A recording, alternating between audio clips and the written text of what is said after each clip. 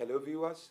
Welcome to your this week. Welcome to our this week's edition of your popular program, Political View, reaching you live from our studio here in London, Heritage Television. In this week's episode, I'm having two prominent uh, Nigerians. My guests are Msteeq Marlene, um, an entertainer and broadcaster. Welcome, Msteeq Marlene. How are you today? I am fine, thank I you. hope you're not being affected with the traffic. No, it wasn't. It was You're easy welcome. getting Here, yes, Okay. thank you. Uh, Mr. Femi Oke is the DG of Nigerian Institute here in London. She, uh, is here as well. How are you, Mr. Oke? Very fine, thank you. Thank you very much for your support. Viewers, we are going to go straight into today's edition of our program. Virtually every Nigerian knows that there is an important event this week, this Saturday to be precise. That is when we are having presidential election, and people have been counting down.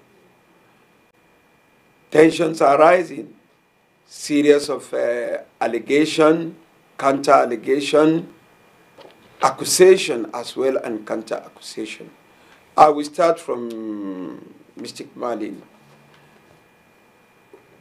What did you see to the preparation of the election from the INEC point of view, the electoral ember? Well, well, the INEC usually are prepared, but the citizens and the politicians, I call them politicians, the people contesting, are they prepared? That's the thing. Nigeria has come a long way.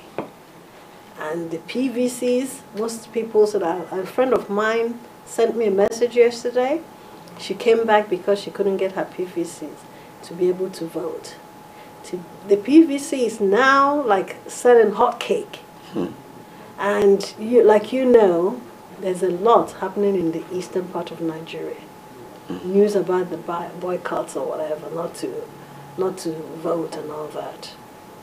Those are issues I believe probably when you when you raise the topics we'll discuss. But I think INEC will tell us they're prepared more than ever. But personally, I don't think so.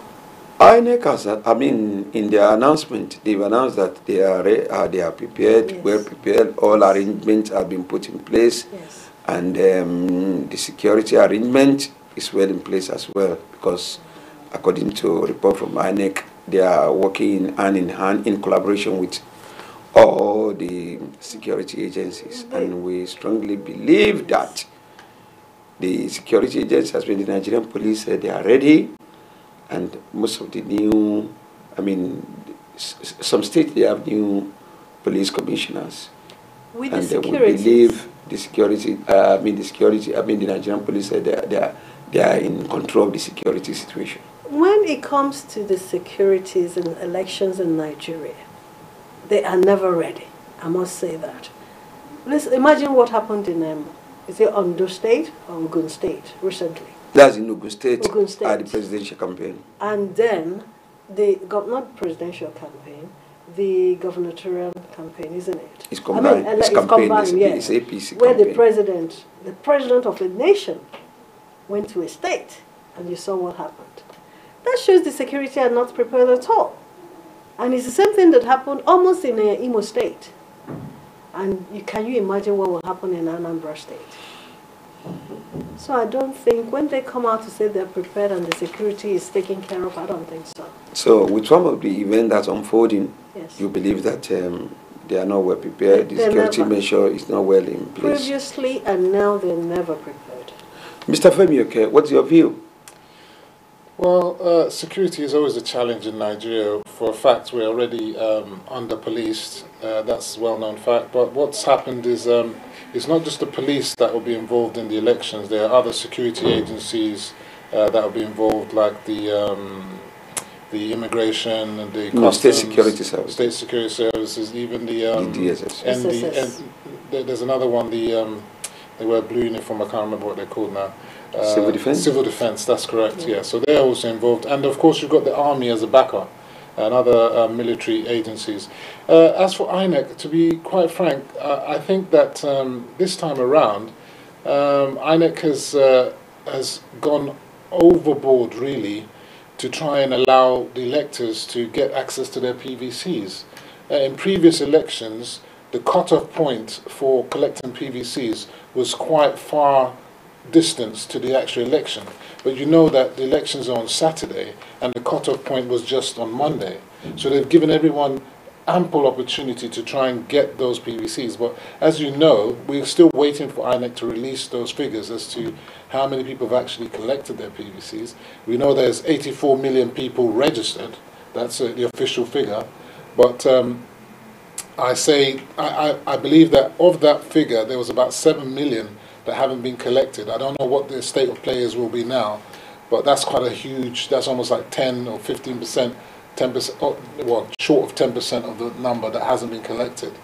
So um, my concern is, uh, as um, Msteeq said, um, these um, attacks on INEC officers is really disturbing. Happened in Abia. Especially happened in Abia, yes, happened in Plateau, happened in Anambra State. So the question to ask really in those situations is who is it that's going to benefit from those bombings? I mean, who, to whose interest is it for there to be a problem with voting in a place like Abia and a place like Plateau and a place like Anambra? You would want to think that those places are going to be uh, quite sensitive in terms of the outcomes of those elections. They may be very close because a lot of people are thinking that the middle belt with Plateau and Benue, uh, you know, the, the, the, ruling party may lose some seat, some votes there. So there could be some issue there as to why they're bombing INEC there. Again, in Anambra State, I would say there's it's out there that the governor is actively campaigning for uh, APC so there could be the situation that people are not wanting that to happen. So that could be a factor. Abia State as well, there's issues there between the existing PDP and the APC, who's got a strong candidate that used to be in PDP. So them bombing up and trying to affect the votes there is another sign. And this is, to be honest with you, this is the problem with our politics. The politics is not our people. It is the politicians that, that sponsor these kind of actions. I mean, of course, we don't have any evidence to say that they're sponsored. I mean, they could well be accidents. But the thing is, it's quite a coincidence that they're all happening at the last hour, the 11th hour, one after the other. I mean, if this is the last of it, then of course that's going to be great. But if it continues after this and it becomes systematic, a pattern then begins to be uh, uh, appearing. Thank you very much, Let me cut you in there. Mr. Uh, Marlene, I know you are a peace-loving person.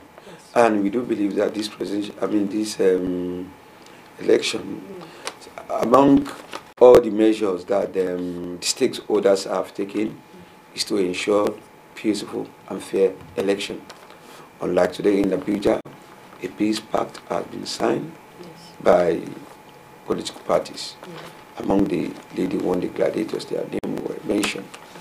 The former U.S. President Bill Clinton is supposed to be in Nigeria today to be there. There was a reason given from um, his spokes, I mean, um, spokesperson, yes. where they said um, he doesn't want his uh, visit to be politicized. Yes. So he'd like to be neutral. We believe that within the two parties, mm -hmm. there are tendencies that it's possible for them to to paint some color, which is not precisely what is on the ground. So the peace accord in your own view, do you think is going to address the issue of the instability, the security well, the, the uh, measures that have been put in place to ensure that the free and fair election is being held? When you talk peace in a nation, it should be everybody, not a particular party. Not say PDP or APC. Those are not the only two parties in Nigeria. And when you're talking about the peace of a nation, I'm not bringing, I don't want to bring a part that probably should have been mentioned. We shouldn't forget the IPOB. We shouldn't forget the, uh, the Boko Haram that was in the north. Niger Deltas. And then the Niger Deltas. So all this has to be in place before you talk peace in an election and IPOB calling for boycotts, and some parts of the some the Igbos that don't believe in that. wants to go and vote. How can you talk peace when the security is not together? I was telling when I was discussing with Femi earlier on, I told him personally, I would love to vote. I would want my people to go and vote. But with the threats I'm getting from the Biafrans, I will call my people and tell them, please, rather you be alive risk your lives for Nigerian politics. If the peace will work, there is no problems.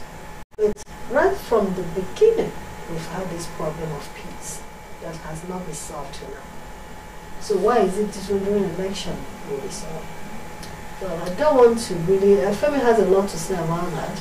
But, Yeah. you know, that's where my, my take on peace, Mm. we're not ready for it yet. Thank you very much, Fali. Uh, Femi, I want you to look at that aspect of uh, the peace accord that I, that I mentioned earlier that is being signed today. And um, in your discussion, you do mention that um, most of these problems that politicians were behind it. Absolutely. And I remember on this platform as well recently, one of my guests do mention that uh, the politicians are not the real perpetrators.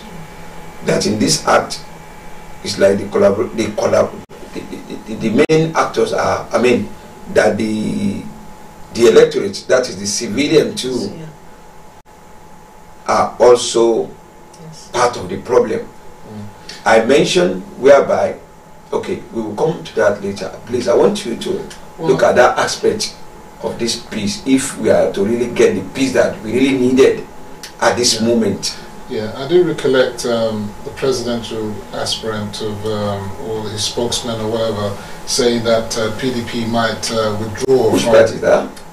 For PDP. One Okay. of the spokespersons said that they would, might withdraw from the peace pact uh, following uh, the comment that was made by El Rufai when he was referring to um, the But it was reported today that uh, the presidential flag bearer of uh, PDP, Alhaji Atiku Abubakar, the venue. Oh, fantastic. But- but- Uh, was the president there as well? Absolutely, president was there, so that's fantastic. So that is what I wanted to say was that if the two of them were there, then the aesthetics of it is very important because the same thing happened in 2015 where you had President Buhari and Jonathan also signing a peace pact. That will send a message to those down the line. We hope that it's not necessary to put your life on the line uh, for the of ordinary elections. Nigerians. Yes, and and the other thing that I like about what the president has done as well is that despite the infighting within his party, he said to everyone out there that look, it is your right to vote for whomsoever you want to do so, and go out there and do so. That's another signal to, to people to say that look, if your president is telling you to vote of your conscience, then why should anyone then try to force anyone or to stop anybody else from voting their conscience? It's now down to the security operatives to do the needful and ensure that people's right to vote uh, takes place. Uh, there are many that say that, for example, the resurgence or the reenactment of Operation Python Dance was not a positive thing. But when you've got a prescribed author, also um, organization, which is IPOB, they've been prescribed, and they're trying to tell people not to vote, and there's the possibility that they may be intimidating people not to vote, then you might understand the need for Operation Python Dance, as maybe it's not palatable per se. But if an organization is trying to deprive a sizable population from voting, uh, that could scupper the results. That could create a problem. Because how would you v- validify an election if a significant population are not able to vote? So it is down to the security operatives to make it possible for people to vote. You know? Mr. Sorry, Kumadi, sorry, you are, you- Mr. Feli, that is the point I want you to address. You see, Yes. you are very, very frequent. You, Yeah. you are, a I mean, a frequent traveler to Nigeria, yes. Nigeria and to some part of, uh, the I mean, country as well.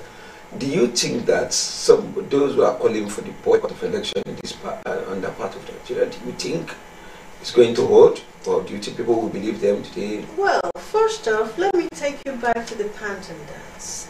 As far as I am concerned, that was the wrongest move ever by a government. Regardless what, there were about at least 19 or 20 percent uh, uh, dances that were put up. I use the word dances that were put up that time. And only three were carried out.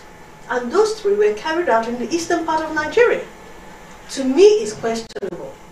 But then, let's not go into the Python dance, because even after all that was said, I'm sorry to say, I don't believe in the ideologies of the IPOBs. But I am, my people were killed, unlawfully killed. Nothing has been said about it. All we has, do, I think a no, all we do is go there and justify what they did. No, no, no. I think To me, it wasn't good enough. Look, uh, But let me just make a point. But telling, talking about Python dance or boycotting the election, they have their points. Like I said, I don't believe in the ideology, but they have their points. And then, if like say some of your people were killed at that part, that particular period, and now you still want to go and vote for, because they're not actually, to me, the way I understand it, it's not a Nigerian thing now, and it's not a Biafra thing now. It's just this governor was there when he came and killed my people. Yes, it was a PDP governor. So it's not even, Abia is not PDP per se right now. It's both PDP, but it was a PDP governor that was there then. So boycotting this has nothing to do with this particular, it's just that they did it in, Anambra. Whether it worked or not, I don't know. No, Who claimed didn't- victory? Who claimed victory, I don't know. But right now, I think some people are scared. I am scared too for my people to go out to vote. So it might work. We do. Okay. Yes, it might work. Okay. Uh, we pray for a beautiful election in that part of state Amen. where Amen. threat has been issued. Amen. Now, Mr. Oke, I want you to quickly look at this area because I'm bringing this question from your earlier statements, like where you mentioned you point uh, you pointed and accused fingers to the politicians, and many people str- many people believe that the the the the, the, the Nigerian people, the, the electorate too, are to blame for some of these acts. Well, I want you to look at the area of vote buying. Who are we to blame in this drastic act? Okay. See, to me, I call the vote buying situation a myth. It's it's blown up beyond reasonable proportions. For example, uh, you have a situation, as I say, where you have 84 million voters. Let's assume that 54 million people vote.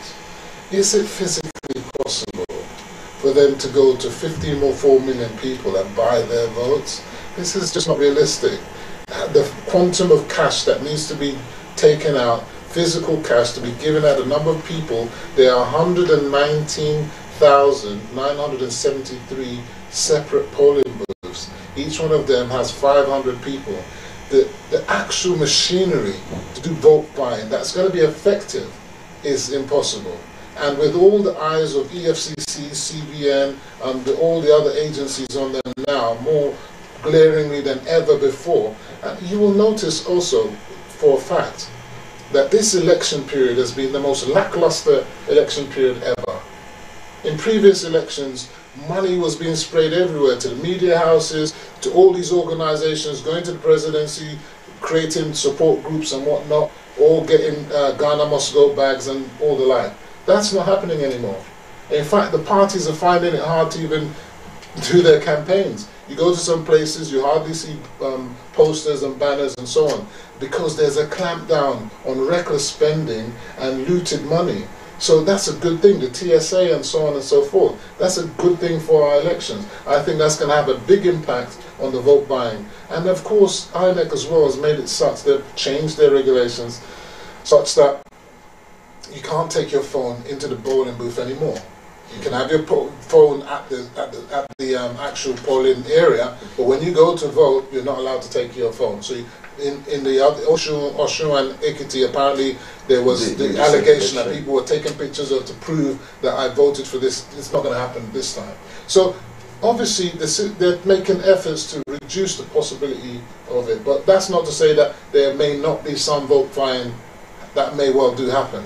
How effective it's going to be, only God knows. But we want to implore INEC and the security forces to try and stop that as much as possible. Ms. Uh, Ms. Manning, I want you to look at the aspect of this.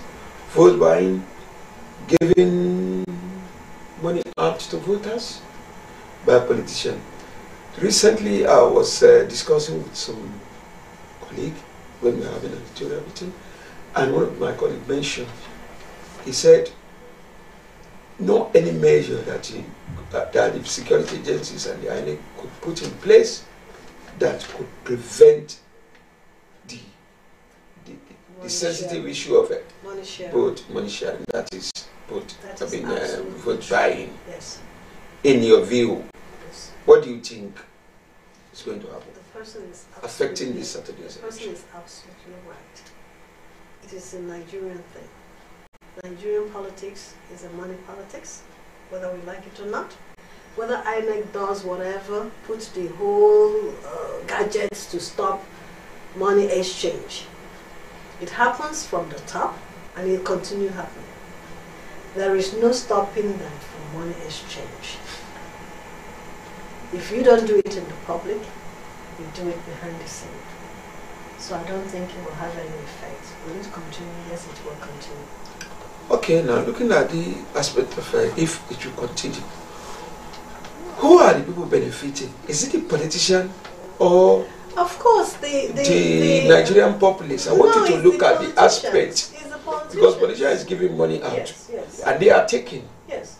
No. So who do you think It's is benefiting? Are they not the, the people who are collecting? Are they not the, the, No. the piece of, be- be- the people, benefiting? No, the people collecting are not because when the politicians give you ten pounds to go and vote, Give them naira in Nigeria? yes, in naira. naira, yes, they give you five thousand naira. Ah, that's a massive By amount. the time they get in there, in less than a year, they made their money back.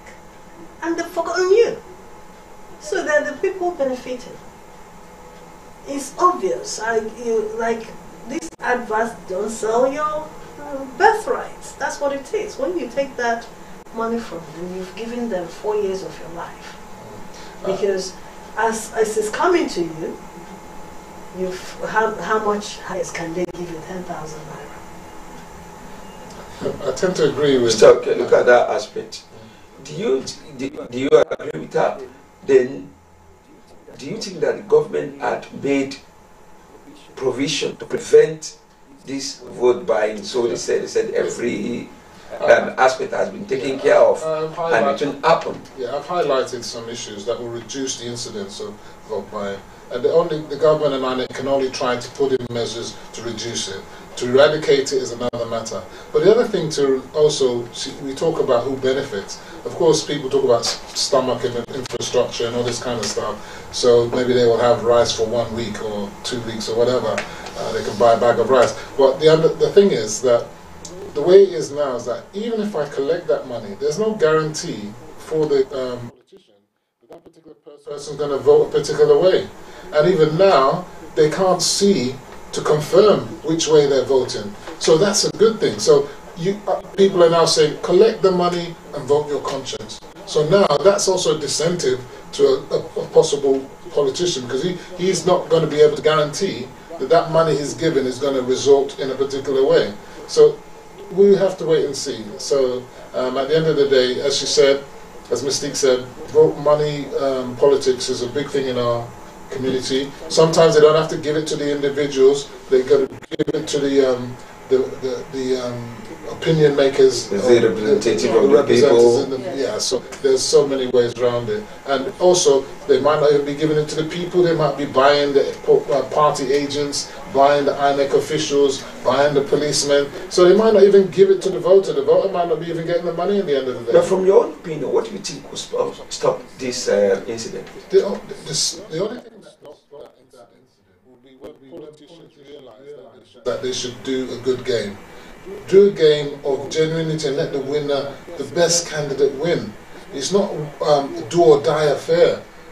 Lead, I must win by all means. You see, and also tightening up our systems to stop corruption will also help because, as uh, Msteeq said, the aim is I spend all that money, I have to recoup that money. So if they now know that they can't even recoup that money, then there might be a disincentive for them to even spend that money out in the first place. Because when I spend all that money and I get into government, I can't even get at the coffers, there's going to be no point in spending that money, isn't it? So these are the things we need to tighten up all these um, loopholes and things that are enabling politicians to steal. And that's why I'm in favour of the APC candidate, President Muhammad Buhari. Because of the two candidates, I would say he's more. Mm, mm, I don't want you to go into that area. Look at it personally. Don't mention about the parties. Let It's us my try to see as many. Yeah, it's your opinion, but let us try as much as Yes, possible to I- I maintain agree. our independence. Are every of your views. Go. I am independent. Yeah, yeah. Now, Mr. Bradley, I want you to look at the election, the proper election on Saturday, that this week Saturday. Series of campaign has been going on. Both other parties, there are some big fish that are swallowing the others that we couldn't be able to even know that some parties are in existence because the list is endless. And series of style has brought into this election. In fact, people are saying they enjoy the fun because it's that the fun goes on.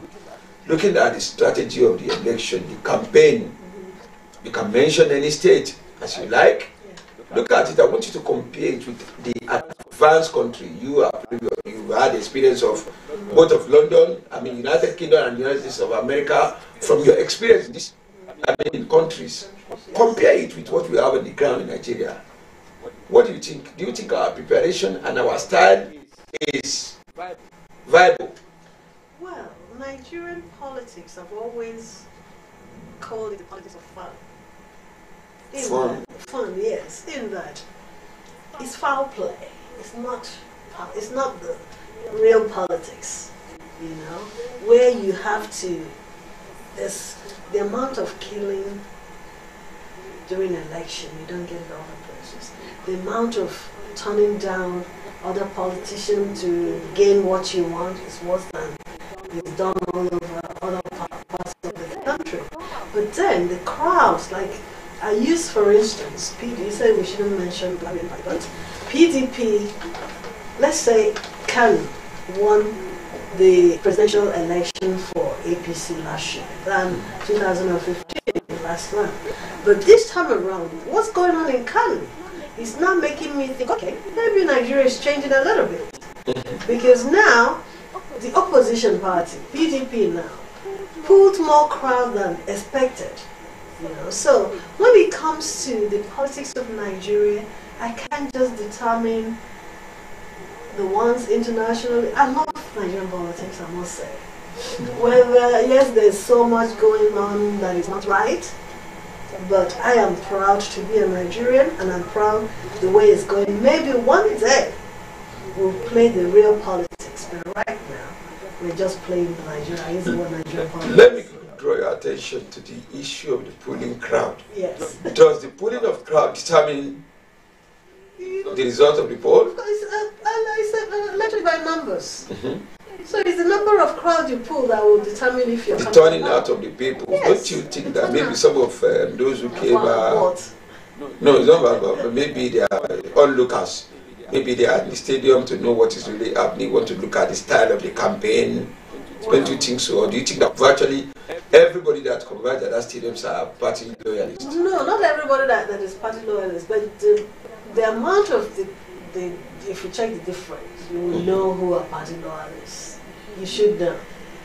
So if you're used to uh, having uh, maybe 10,000 people come out and you have 100,000 people come out, at least, at least 80%. We, we, we, are, we, are, we are at the peak of uh, our discussion but from the commercial department. Have been getting a message that let's go to the commercial department for the for their advert because that is exactly what is sustaining the station.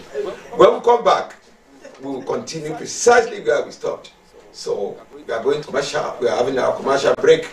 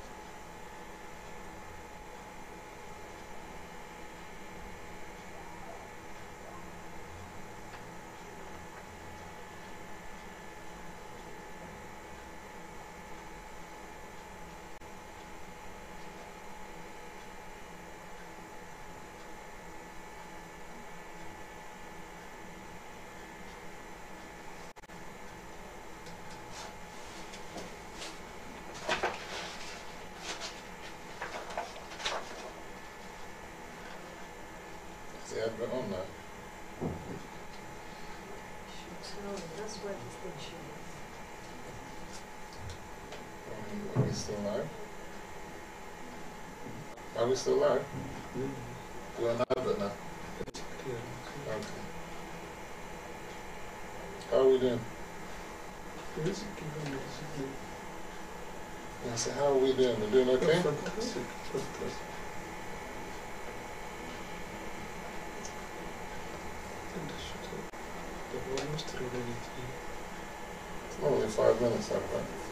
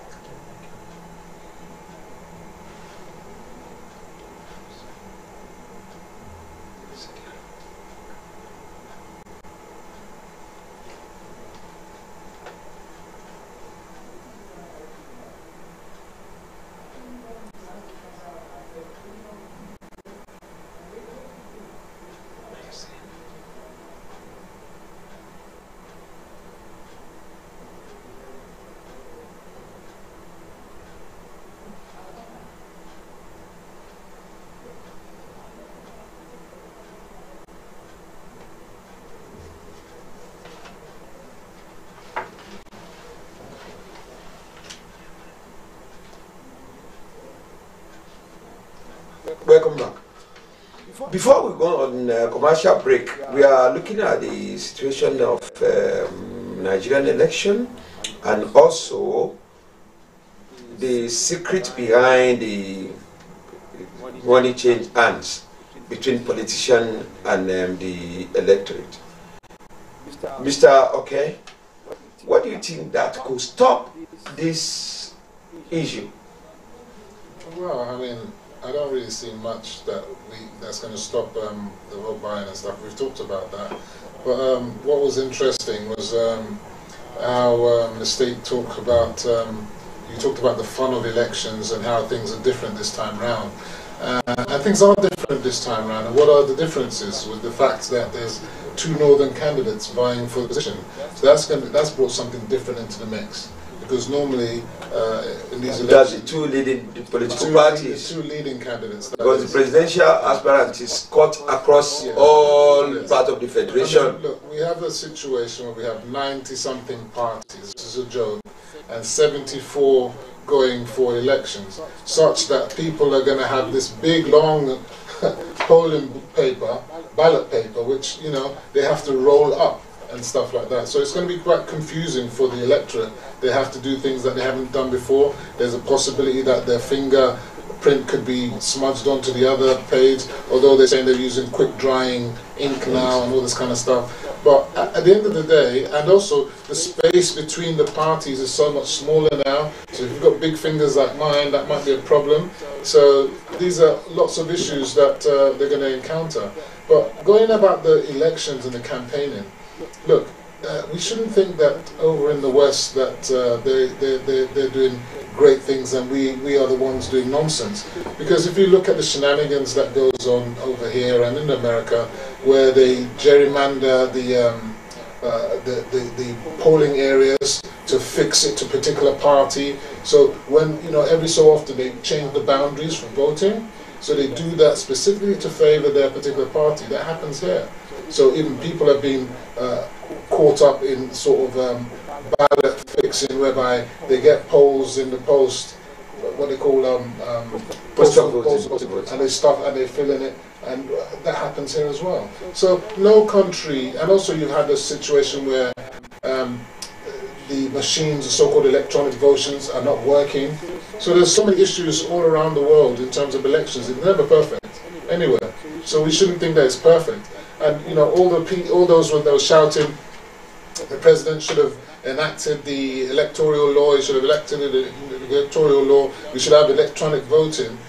I, I just believe Nigeria. We still haven't got to grips with the electronic card, um, PVC Card card, reader, let alone start talking about electronic voting. And in a country where power is just comical, there's hardly any power. You want to have electronic voting, it's going to really work. Uh, so, and also it's subject to manipulation. You still need to have paper backup. So at the end of the day, it will take some time before the nation has electronic voting. Uh, and uh, as for the Electoral Act, you know, those that say no, the president should have signed it, shouldn't have signed it, he may have ulterior motives or whatever. Uh, for me, I, I, stand by the president's decision.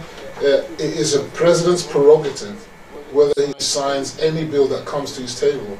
Those who, the legislators who made that law, if they want to veto him, they have the power to veto, to as, veto well. him as well. So if they didn't put together, if they were serious about it, they would have put together sufficient numbers to veto him. So if they don't have the power, then we need to move on to the reality and carry on with the law, which came into effect with, when um, Jonathan signed it in March 2015. So the new law that we have now was the new one that Jonathan signed in, not the one even that was being used during the time of Buhari. So we're actually using a new one right now. So at the end of the day, if that electoral act would have come into force if they had said it will come in, uh, they had said it will be enacted for all elections after 2019. that would have been great. Thank you very much indeed, uh, Mr. Oke. Mr. Bali, I want us to look at the area of many. There's a lot of argument in many quarters that the diaspora vote. People believe that diaspora vote could play significant, I mean, Significant. important in um, Yeah. Nigerian election. So, do you think that um, we are not accusing anybody now? But we believe that uh, our legislators could have actually looked into it because it is their own main duty to enact law. I mean, putting aside that dias- diaspora vote without not paying attention to it, what do you think that the diaspora vote could can it change the voting pattern? Can it go to a direction? Well, of course it can, because um, in um, diaspora, I think we actually see more than most of the people that are in Nigeria. Their awareness, but their Yes, awareness and political yes, awareness. Yes, yes.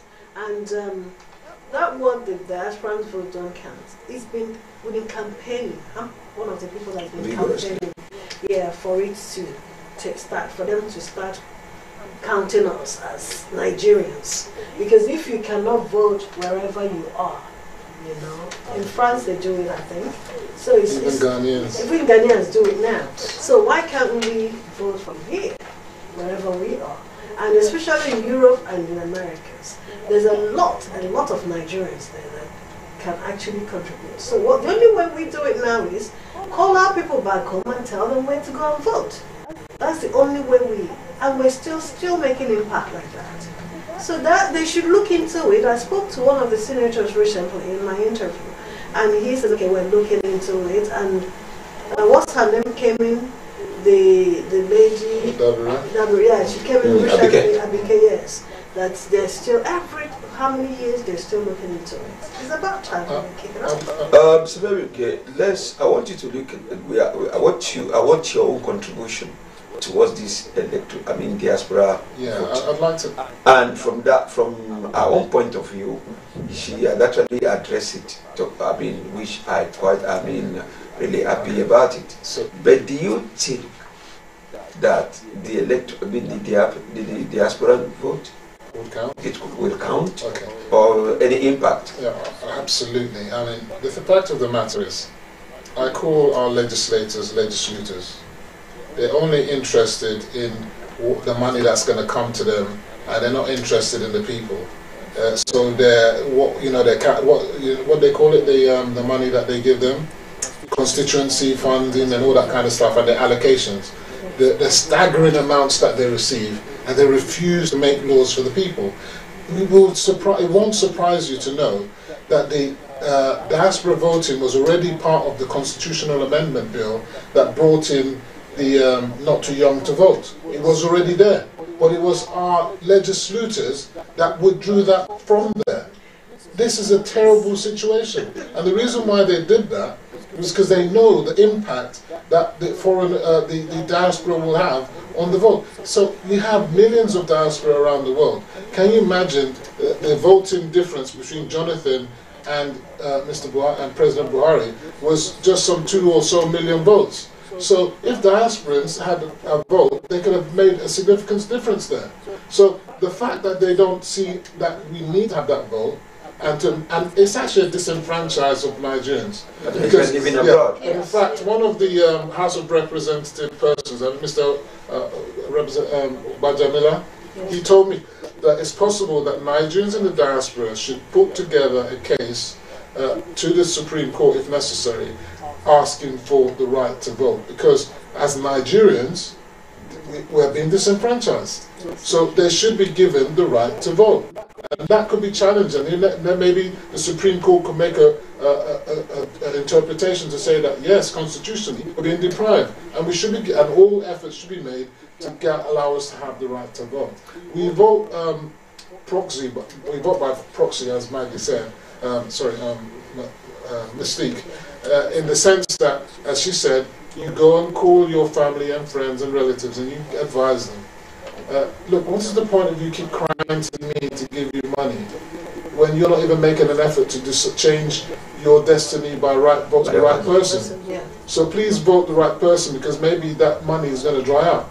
So vote the right person so that I don't have to be wasting my resources. So people need to understand that. So they need to make the right decisions for themselves.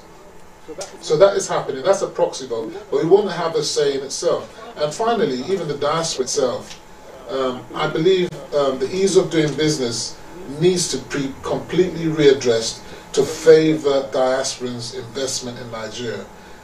They're not, I mean, they've set up the Diaspora Commission and a few things like that, but more still needs to be done. Uh, before we uh, been the message from our because due to the fact, due to the fact that we are coming close to the election Saturday, and um, a lot of our advertisers do believe that um, this kind of a time, this is the time that we'll have large viewers. So we've been getting pressure for a lot of commercial. We have to turn some down at the last minute today. So we go back to our commercial department for a commercial break. When we come back, we take it from precisely where we stopped. Commercial department, we are going on a commercial break my daughter-in-law. So how are you planning for my son's birthday? No, no, no, have to cook for her. Do you people have ogirisi there? No. It's okay. Okay, let me call you back. Mama okay. Hi, so wait a market. Please pack some ogirisi. I am going to visit my son. my daughter-in-law. It's arranged. But you must use original red oil to prepare the soup. What? I'll call you back. Mama Chijo, please include Isio Morocco, eh, my daughter-in-law. Everything is now set. But don't forget that gold wristwatch I saw the last time I visited. Now you can talk until you tire for just 11 kobo a second. Call all networks in Nigeria and 30 international destinations, including US, UK, China, Canada, and India for just 11 kobo per second. Dial star 211 hash to activate. That's it, boo boo. The largest data network, Glo, Grandmasters of Data.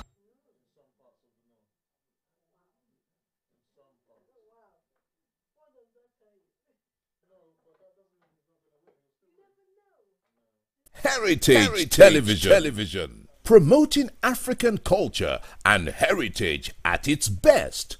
From talk shows that concern you to both local and international news that relates to you. From grassroots football to African children's programs. Heritage Television. We cover your social and special events like weddings, birthdays, church anniversaries, and so on, and broadcast them live on our apps and online. Heritage Television, broadcasting everything about culture and heritage. Heritage, heritage television. television. We've got We've it got covered. It covered. Do download our apps on both Android, iOS, and Windows mobile platform. Heritage, Heritage Television, Television, your very, your own, very own TV, TV station. station. Okay, welcome back. Before we go on the commercial break, we were actually looking at the issue of um, diaspora voting, which we strongly believe is very important at this moment. But recently, one of the top Nigerian politicians was actually was actually agreeing about it. He said, "Look, it wasn't that um, it's easily to be done, but we can't compare Nigeria with other some African countries, like where some people said, ah, it's being done in Ghana, it's been done in some other part of Africa, but Nigeria is most populous black nation. And the logistic to put that in place, perhaps, I don't know what is going to happen about it. But Ms. Mali, before we went to Africa, I want you to look at aspect. The diaspora vote, you said you believe in it, but can that change the, the voting or can it add to it? It can add, it has a lot to do with uh, uh, voting in Nigeria. When you have diaspora, especially um, like um, Femi uh, mentioned earlier on, the difference between Buhari winning, I mean, Buhari winning against Jonathan was a margin. So if you had diaspora votes, that will skyrocket. And at this point, we need our votes, we need to be counted. I need to be counted as a Nigerian during election. And if I'm not allowed to vote from wherever I am, I don't regard myself a citizen of Nigeria. I can be resident anywhere I am. I can be resident of UK or anything, but I'm a true Nigerian and I demand my right to vote. vote. And if you and if you take that from me, you're depriving me of uh, of my nationality.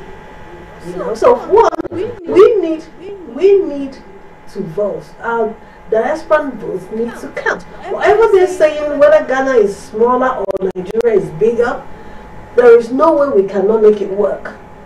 If we can walk somewhere in France, France is not that small compared to Nigeria, even if it is. If we can work in all those countries, why wouldn't we work in Nigeria? Unless there's something we're not telling each other. Okay.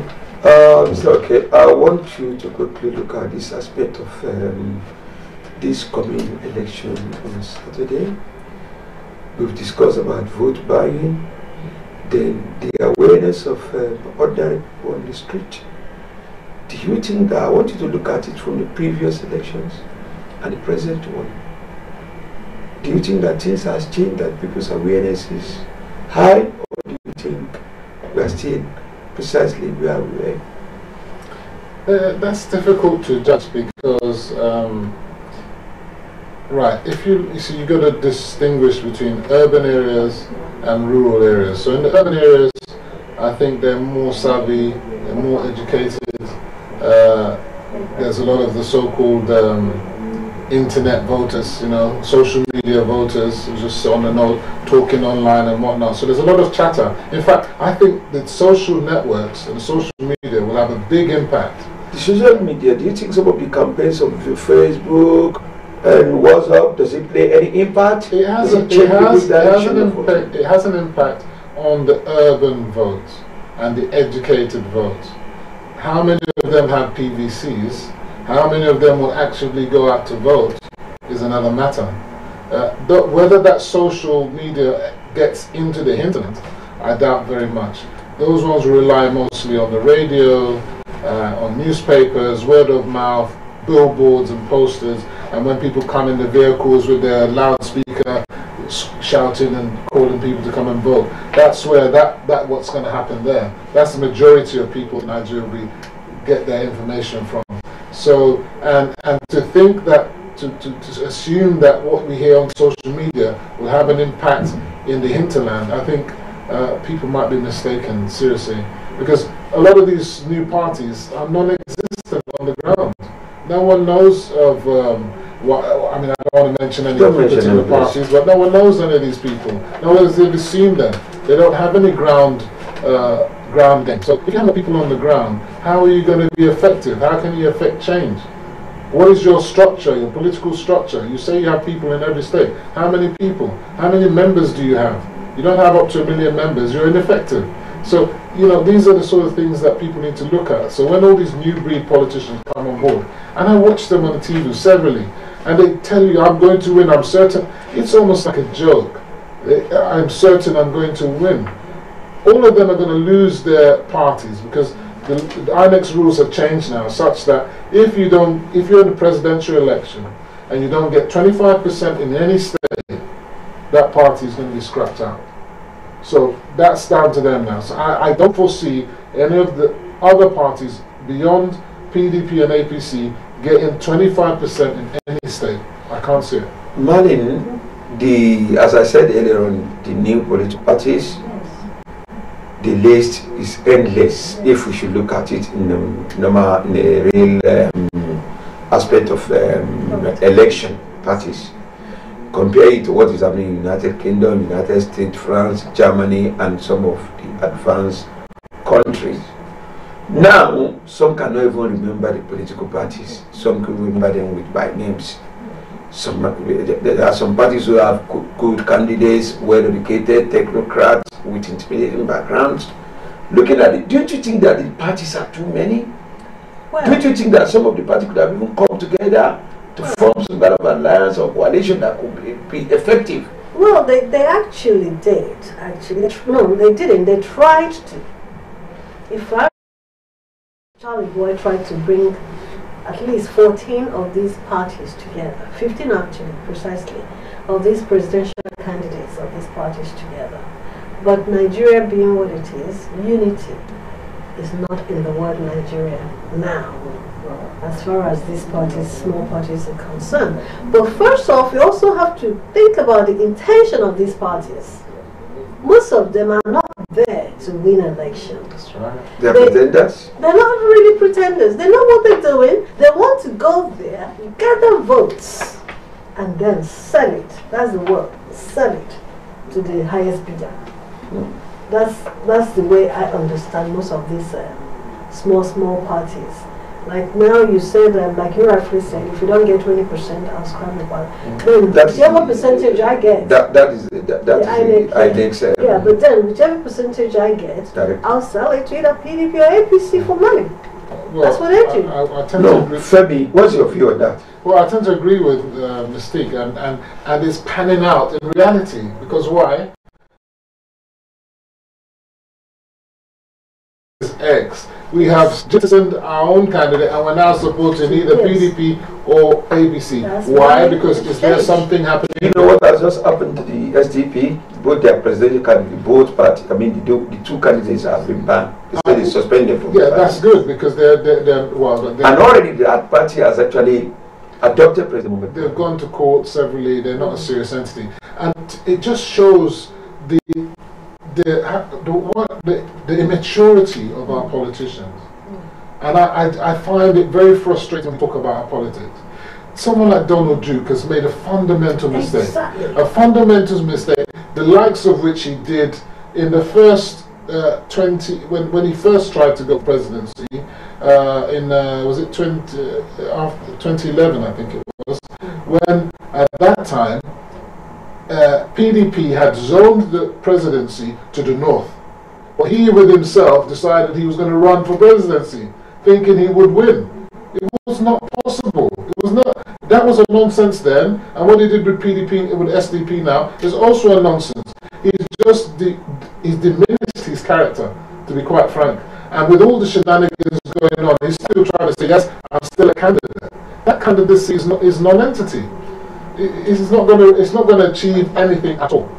And they've made a mockery of the of the those of the people that actually believed in them. the party. It's so sad. It's so sad. The- the- It's like um, virtually all the parties had one issue or the other. Now, Miss Betty, you are a woman. This lady, a lady of substance. I want you to look at the political situation in Nigeria. Don't you think that the women, their church changed? Of course, we. Even I wouldn't be surprised to see a, a person like you, not in the Senate, coming out for presidential election. Well, I've been the. But I'll well, be the person- What happened with all your political experience? Another failure there. Yeah, Look at- No, well, well, With me, it's a long story. long story. Yes. Okay, let us. I want you to quickly look at that area because of uh, Yes. the, the, The women women, at home. Don't you women, women in politics, in Nigerian politics, I hail you. I say kudos to you. Amen. Because I went to Nigeria to try and get into politics as a woman. And I couldn't tolerate half of what you women tolerated. In that I was, um, like you said, don't name name, but I was APC and I tried. But I didn't, I couldn't succeed. But the women are not given enough chance to showcase themselves the rights of women are still not the same as we should. We're not saying we should be equal to men, But give us the privilege to get at least halfway where we should, do what we should do. We are not. Once you're a woman and you get into, we say, should do Just listen, this man is more, this man, eh, eh, you know, he can do better than this woman and all that. It still happens, but under the, under, under, under the carpet, they wouldn't come out and say so. In most states, that's why most women cannot come out openly to run for the position they want to. Men, there are, there's an argument that people believe, some women believe, I mean, some people believe that Yeah. the problem of women are within the women themselves. What's your opinion on that? It's the same. If it's, you tell me it's You have that large number. you tell me it's backbiting and all that. No, it's, Yeah, it happens with the men too. It happens with the men too. The problem is not the women. It's like saying that the problem with the Igbos are the Igbos. No, the problems are not with the women. Mm-hmm. It's just with the people on top. Is it their husband? The women. Is it their husband? Not really. Their husband, yes, that's part of it. Like where I come from, the part of the Nigeria come from, the Igbo land, Imo State, Abia State. Your husband is still the boss, regardless. So, and then there's this stigma that follows Nigerian women in politics. That every single one of them, before you get what you get, I'm sorry to say this in public, but it's always they. Oh, they said it to me before you get where you want to get, you'll be used. That's the word. But I'm telling you now, it's not facts. So, men, if you're listening to me, allow your wives who wants to get involved in, in politics, let them go in there. Nobody will tell them jack. They will because when I was going there, some places I go, oh, you want me? if you can, they can't put you there unless they sleep with you or they do this or do that. That is jack. They're talking allow your women to go out there, give us that chance to get where we want to get. And then, I'm sorry to bring uh, religion into it too. In Islam, they used to say women could not handle certain positions. But all that is in the past now. It shouldn't be just women affairs or finance, you see women. Give us all that strategic positions and let's showcase ourselves. What I I actually you're talking about president. Maybe next 2027, I won't run for presidency. I'll go for deputy, Vice President. vice president, and then Nigerian women will follow. Amen. Amen. We deserve it. Thank you very much, Brady. Uh, Mr. Oke, I want you to look at the area, what she discussed. That what's your take on it Yeah. regarding that? Maybe Yeah. are they being changed? Was the problem of the women is within themselves?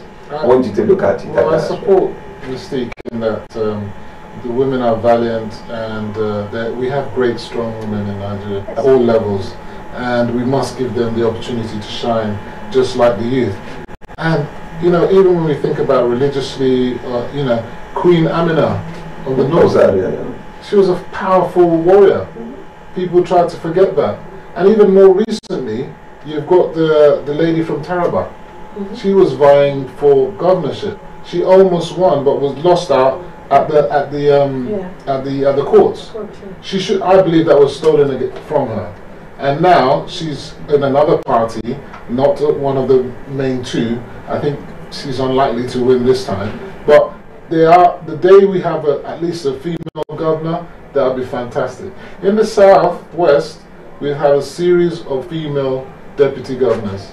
We've We had a, we've had and- yeah, and we haven't even. I think even in the north, I think um, El Rufai, although he's doing a Muslim Muslim ticket, but his vice is a woman. So his deputy that he's putting forward is a woman. So, but we need to see them in the forefront.